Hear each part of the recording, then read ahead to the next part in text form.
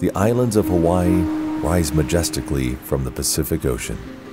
White beaches and seemingly endless miles of ocean attract both locals and visitors looking to swim, surf, and snorkel. But even in paradise, things aren't always as they seem. Invisible to our eyes, plastic microparticles are floating underneath the surface of the waves.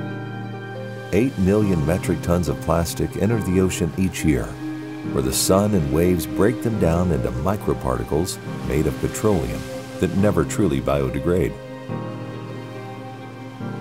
Research found there's an estimated 5.25 trillion particles of plastic smog weighing in at 270 tons in our oceans worldwide. And even if we stay out of the water, many of these pollutants work their way up the food chain and onto our plates. Most plastics have been linked directly to cancer in both humans and animals. And the more microparticles we put into our environment, the more plastic we consume. But there is hope.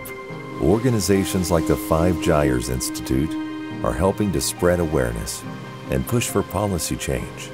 If you want to do your part in reducing the amount of plastic in our oceans, refuse the top five single use source of plastic plastic bags, water bottles, to go containers, takeaway cups, and straws.